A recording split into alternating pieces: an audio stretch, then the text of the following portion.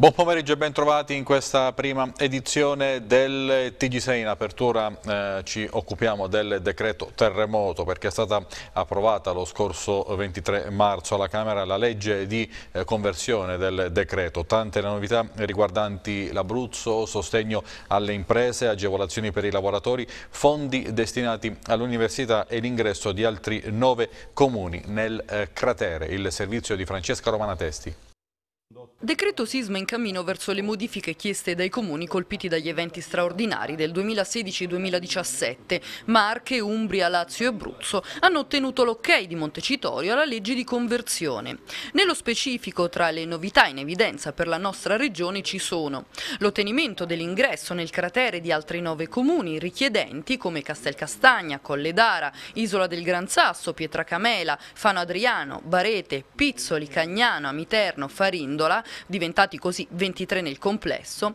Ogni comune del cratere poi avrà due unità aggiuntive per l'analisi delle pratiche inerenti sisma e maltempo, saranno equiparati i danni del maltempo a quelli del sisma per i comuni del cratere, possibilità di utilizzo dei fondi della Cassa Depositi e Prestiti per verifica alle scuole, più potere sarà destinato ai comuni per le istruttorie della ricostruzione, saranno risarcite totalmente prima e seconda casa sia dentro che fuori dal cratere.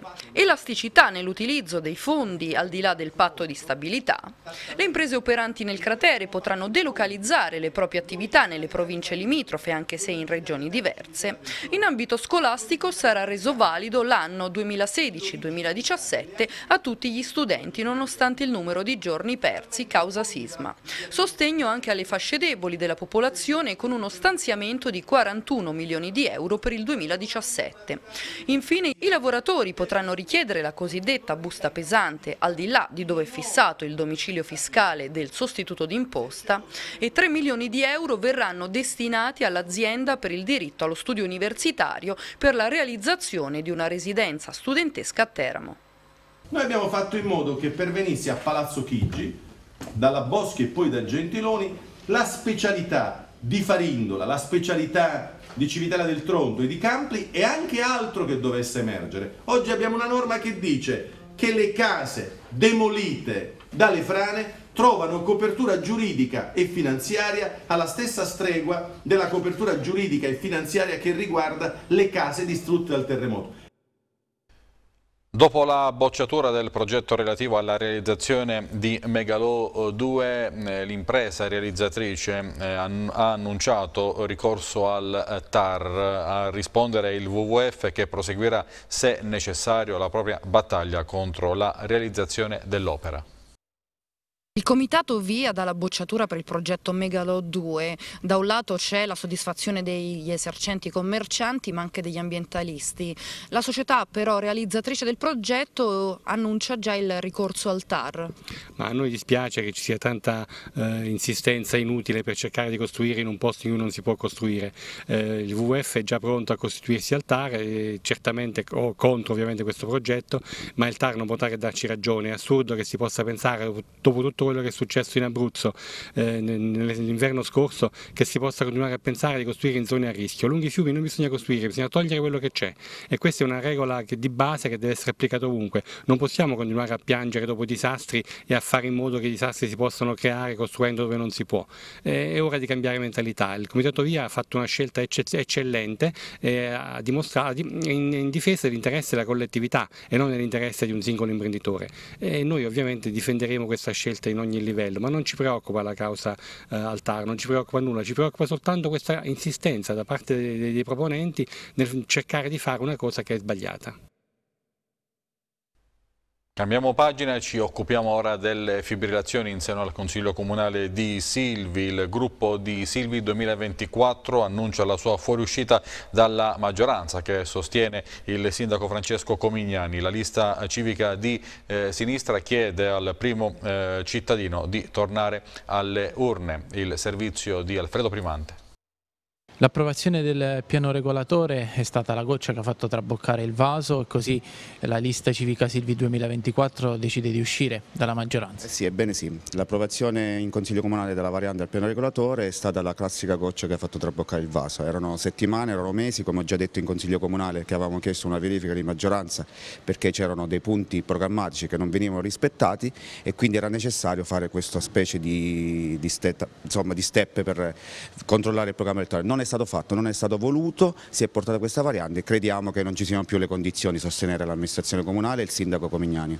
Tra l'altro c'è anche uno strappo all'interno della vostra lista perché il vice sindaco invece resta al suo posto, Partipilo. Sì, diciamo di sì perché il vice sindaco ha ritenuto opportuno rimanere in amministrazione, noi non condividiamo assolutamente questa scelta, però la rispettiamo e quindi lo ringraziamo per il lavoro che ha fatto e ha svolto per la nostra lista e gli auguriamo un buon lavoro. Però è una scelta che politicamente eh, secondo noi non, non, era opportuno perché eh, bisogna avere anche un progetto più a lunga scadenza e una visione più lunga e più grande per Silvi. Adesso che cosa accadrà in Consiglio Comunale? Si sarà in una situazione di 9 a 8 e maggioranza eh, rimarrà diciamo, una persona in più rispetto all'opposizione. Sì, beh, ha detto bene. Noi riteniamo che eh, uscendo dalla maggioranza si debba andare ad elezioni anticipate perché i cittadini hanno votato questo tipo di alleanza, Silvi 2020, 2024 e il PD. Uscendo noi viene meno proprio il progetto.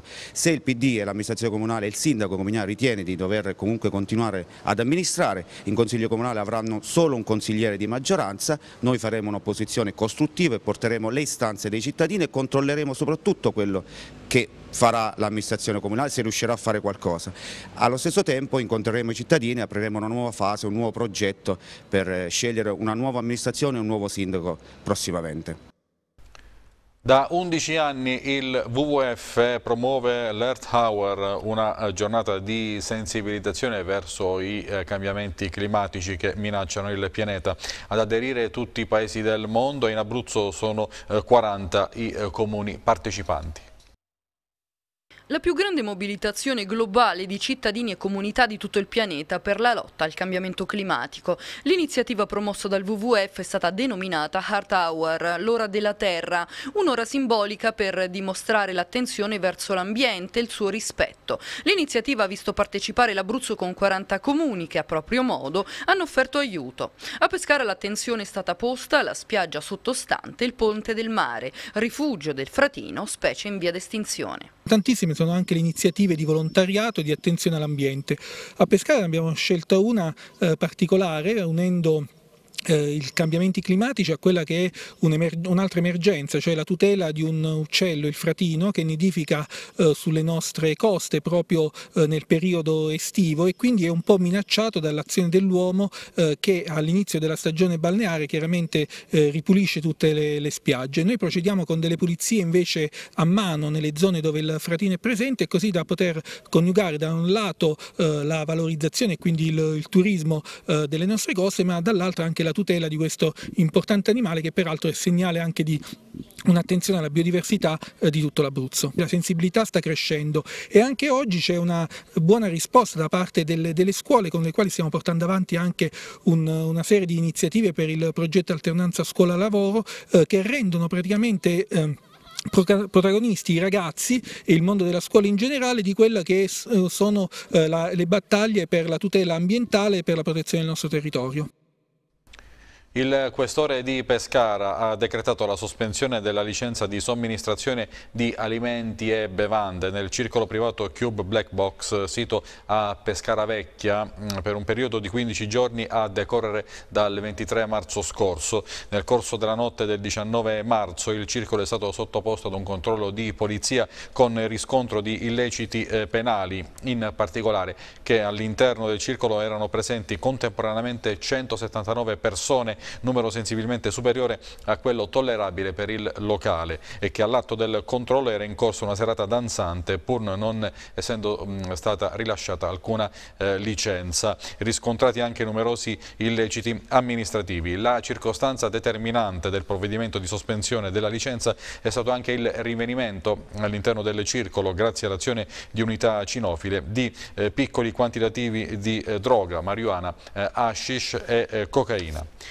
Undicesima edizione del premio intitolato a Domenico Allegrino e volto alla solidarietà e al sociale. Ad essere premiate ogni anno personalità che si sono distinte per impegno e sostegno verso il eh, prossimo. Vediamo.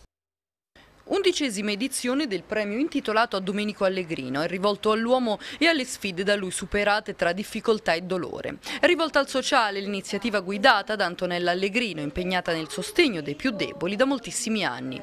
Nel corso dell'evento un premio rivolto a persone che si sono distinte nel proprio percorso di vita per gesti di grande solidarietà verso il prossimo e poi una serie di testimonianze dirette provenienti anche da paesi lontani, decisi a far sentire la propria vicinanza a chi si trova in difficoltà. Per il sì all'uomo noi diamo il nostro riconoscimento come associazione eh, a eh, padre Alfredo Maria Palladini che è un convertito che oggi eh, passato da una vita di lustri e di bellezze esteriori è invece cappellano di un carcere quindi salva e converte, contribuisce alla conversione di molti pregiudicati.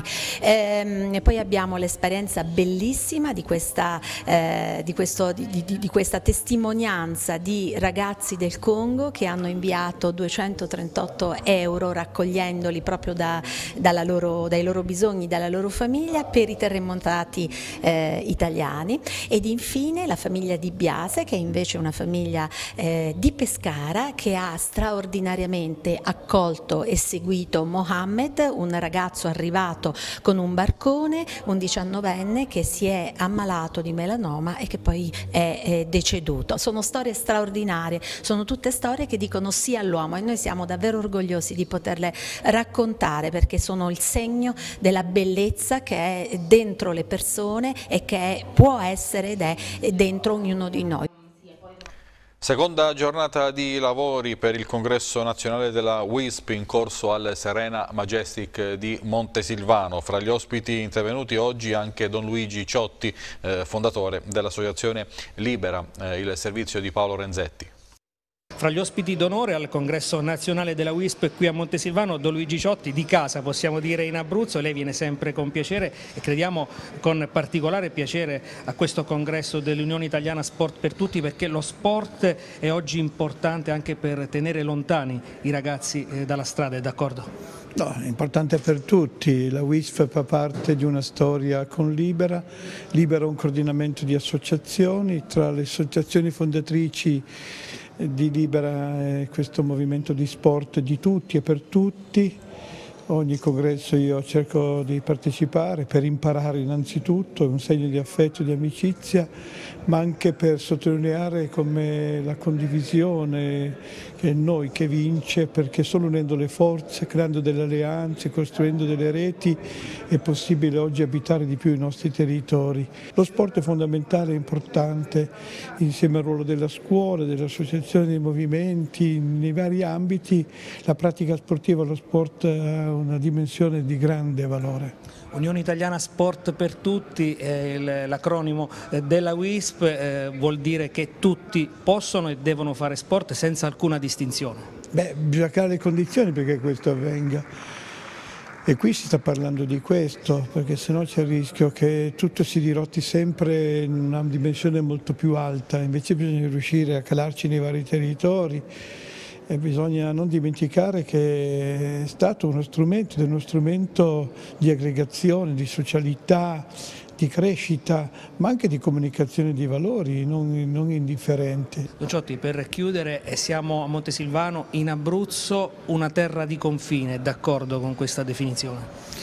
Beh, un po' tutti sono terre di confine in questo momento. Dobbiamo darci però una mossa, una scossa tutti quanti. Non basta sempre chiedere ad altri, cui dobbiamo chiedere alla politica, alle istituzioni, ma c'è una parte di responsabilità che tocca a ciascuno di noi, non cittadini a intermittenza, ma cittadini responsabili. Prenderà il eh, via il prossimo 27 marzo a Pescara presso l'Ipsar De Cecco il progetto Educazione alla legalità promosso in collaborazione con l'associazione Falcone e Borsellino. Professoressa Di Pietro, avete presentato oggi qui all'Alberghiero il progetto Legalità, un progetto che verrà ulteriormente ampliato. E noi stiamo eh, lavorando sulle legalità già da tanti anni. L'anno scorso abbiamo avuto moltissimi testimoni di legalità. Quest'anno abbiamo implementato questo progetto Educazione alla legalità attraverso una serie di incontri eh, con testimoni della lotta contro tutte le mafie che inizieranno già a partire dalla prossima settimana e, e poi nei mesi di settembre e di ottobre prossimi eh, noi aderiamo e collaboriamo fortemente nell'organizzazione del Premio Nazionale Borsellino. E il progetto prevede una serie di incontri che sono momenti di confronto dei nostri studenti eh, con magistrati e con eh, quanti da tanto tempo lavorano per combattere tutte le forme di corruzione e di illegalità diffusa nel nostro Paese. Certo, il, ci sarà uno spettacolo teatrale che aprirà tutta questa serie di attività il 27 marzo, quindi lunedì prossimo, alle 10 10.30 presso la Sala Tinozzi della provincia di Pescara. E viene portato in scena uno spettacolo in cui si parla e si riflette sul lavoro. In questo caso la riflessione non è in negativo e non è in rivendicazione, ma eh, gli autori hanno voluto lanciare e lasciare soprattutto ai giovani un messaggio di positività. È un bagaglio culturale anche per la conoscenza di chi ogni giorno combatte contro la legalità a favore della legalità e contro la mafia e tutto quello che c'è contro. In più anche l'opportunità di incontrare eh, testimoni che, hanno proprio vissuto sulla loro pelle il, tutto il percorso di testimonianza e quant'altro. Noi abbiamo preso esempio anche grazie a dei testimonial che sono venuti qui nella nostra scuola durante il corso dell'anno e quindi noi ci portiamo sempre ad, ad accrescere anche il nostro, il nostro concetto di legalità e di cultura. Una iniziativa volta a sostenere il commercio dei piccoli esercenti del centro città, continuamente in lotta contro i grandi centri commerciali. La Camera di Commercio di Chieti ha raccolto l'appello di Confcommercio con un eh, progetto che premierà gli scontrini emessi dai piccoli esercenti con dei eh, premi. L'iniziativa si aprirà il prossimo 29 marzo e si concluderà in corrispondenza con le eh, festività pasquali. Questa è un'iniziativa rivolta proprio alla difficoltà che stanno vivendo gli esercenti, i piccoli esercenti del centro di Chieti e anche dello Scalo. Eh, si combatte contro Golia perché Megalo 2 offrirà il doppio dei negozi che attualmente ci sono con una concentrazione di centri commerciali nel territorio di Chieti che è davvero fuori dalle norme nazionali.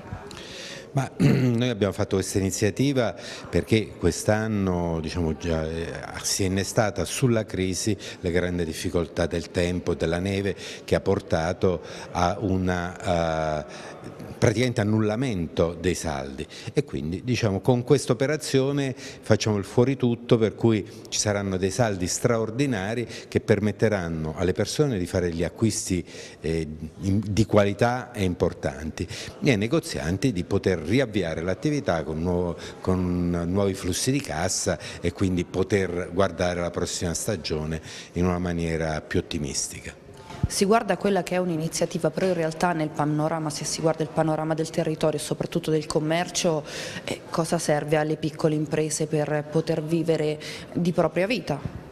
Ma eh, sicuramente devono lavorare assieme perché eh, un, indubbiamente il commercio è cambiato perché oltre ai centri commerciali c'è tutto il discorso dell'online che sta eh, sradicando il sistema commerciale mondiale e quindi eh, bisogna operare per un'offerta differenziata di alta qualità con grande servizio all'interno, cose che non possono essere fornite dall'online oppure dai dai, dalle catene commerciali che sono molto dire, eh, standardizzate. Lo scorso fine settimana si è tenuto il primo degli eventi previsti dal programma eh, culturale 2017 eh, della Fondazione Aria dal titolo Identità storica e identità naturale per lo sviluppo economico e culturale della regione Abruzzo.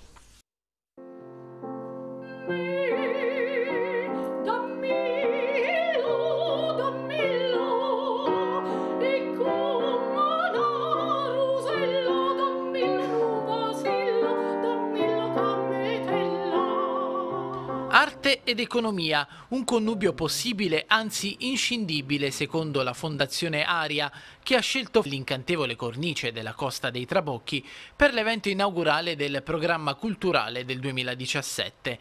Identità storica e identità naturale per lo sviluppo economico-culturale della Regione Abruzzo. Questo è il titolo del convegno che condensa in poche parole ciò che la Regione e le sue eccellenze, siano esse doni di madre natura o dell'uomo, possono rappresentare. L'incontro ha offerto spunti di riflessione rispetto al ruolo sociale dell'impresa come strumento di evoluzione economica e culturale del territorio, evidenziando anche quanto l'Abruzzo costituisca un unicum, almeno in Italia, per la ricchezza di mite e stereotipi, specie sul versante letterario e antropologico. Poi si è sottolineato il ruolo da protagonista che deve avere la natura ed in particolare la montagna, non solo nel determinare il paesaggio e la biodiversità, ma soprattutto in rapporto alle ripercussioni e ai condizionamenti storici sull'uomo. Il tutto per ribadire con forza che la ricchezza d'Abruzzo sta nel suo giacimento di cultura, arte, storia e natura, che può rappresentare una vera miniera per chi vuole fare imprese in questa regione. Sta agli imprenditori guadagnarsi un ruolo nella riqualificazione del territorio attraverso scelte in grado di generare attrattività nei confronti dell'Abruzzo. L'evento riguarda uno dei temi fondamentali della nostra attività, che è quella dell'identità della regione Abruzzo nelle prossime occasioni, che saranno quest'anno o l'anno prossimo, ci dedicheremo all'arte, alla cultura alla, e alt altri aspetti che comunque caratterizzano la particolarità di questo territorio.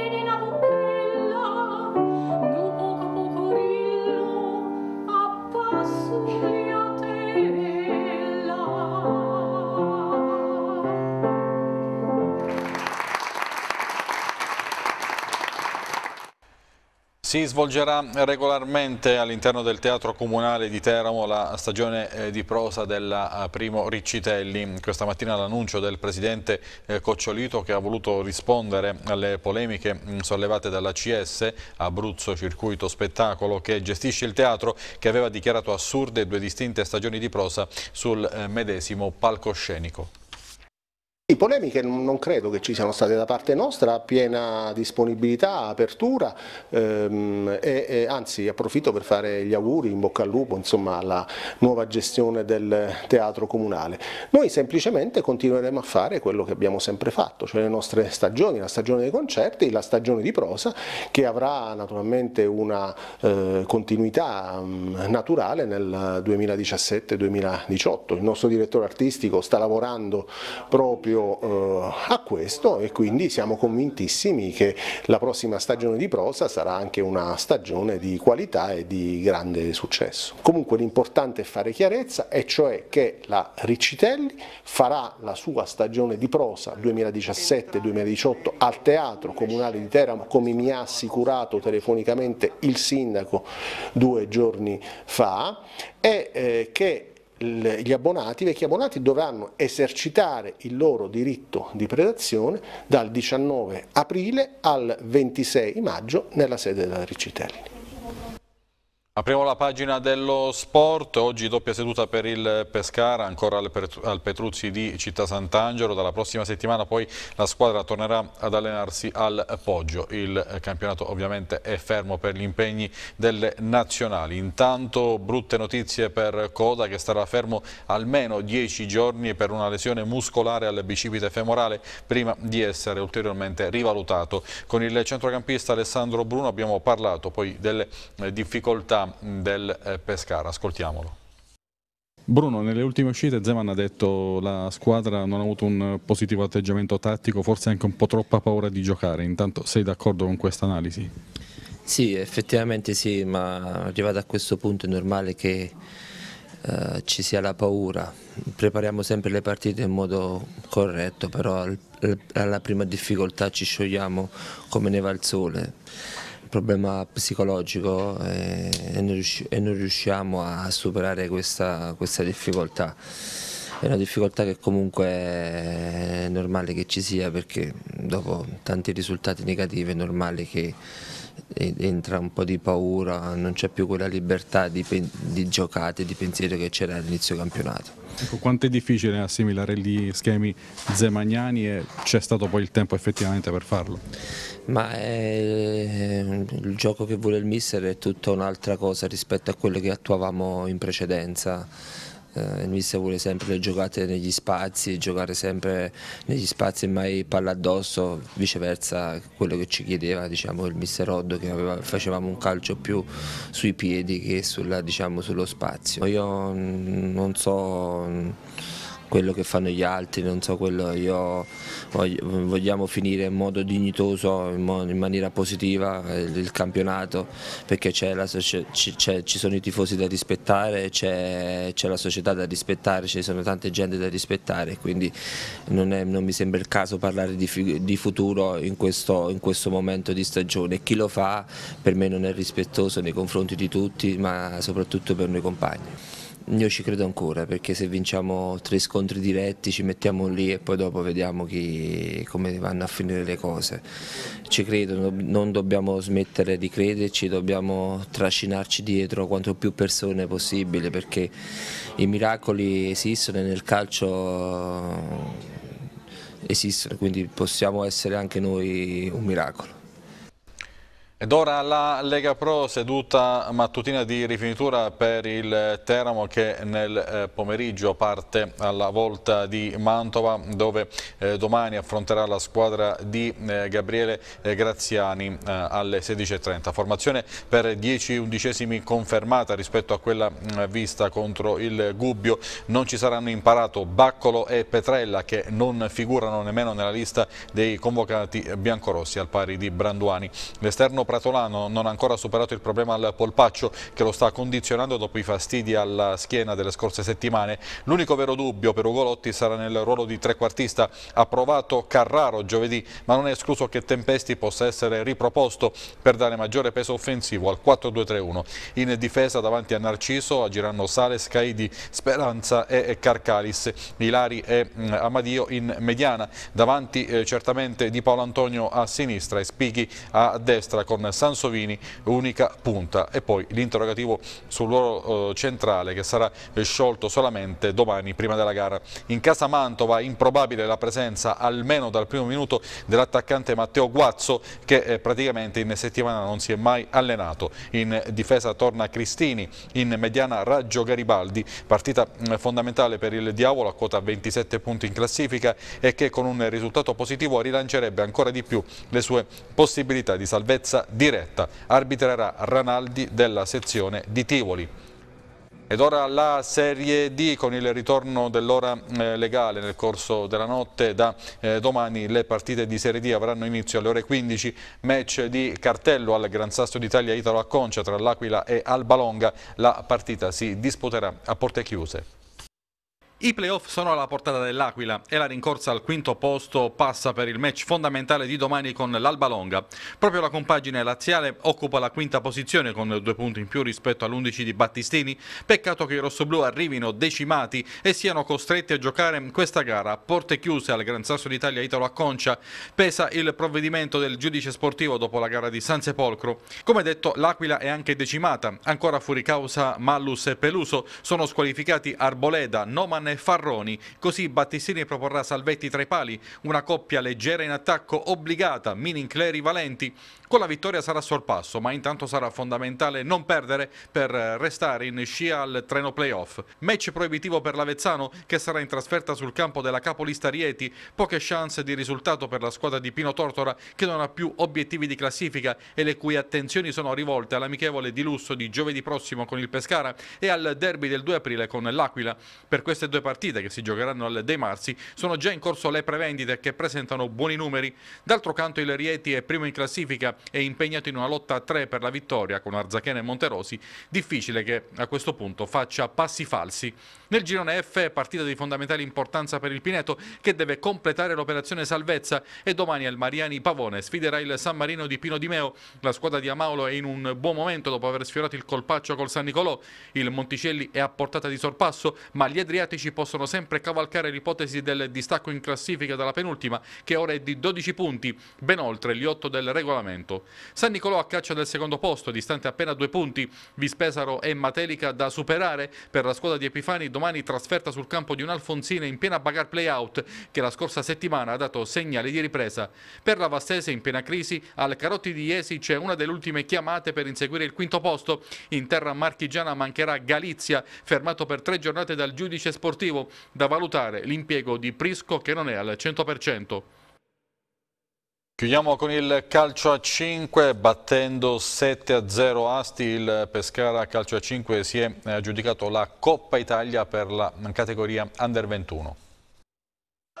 16 anni una squadra abruzzese di calcio a 5 nel settore giovanile riporta la Coppa Italia in Abruzzo. È bellissimo, era un trofeo che volevamo assolutamente, eh, ci abbiamo creduto dall'inizio, è un lavoro che è partito 5 anni fa, questi sono ragazzi che sono partiti con noi 5 anni fa, sono arrivati a questo alto livello grazie poi a un, uh, al lavoro di, di, di Matteo che um, quest'anno ha completato la squadra con qualche acquisto mirato ma sempre mirato per, per, il futuro, perciò giocatori che devono essere pronti per giocare in prima squadra, tre già sono stabilmente in prima squadra e poi questi ragazzi sono cresciuti quest'anno in maniera esponenziale, tutti quanti, tutto il gruppo, eh, però le basi sono, ripeto, sono state di cinque anni fa, per noi era importante arrivare a vincere il primo titolo è importante, quasi come la vittoria dello scudetto questo, questo titolo, eh, siamo stati chiaramente molto più forti di tutti quanti gli altri, l'abbiamo strameritato. È un traguardo bellissimo, un traguardo voluto fortemente dalla società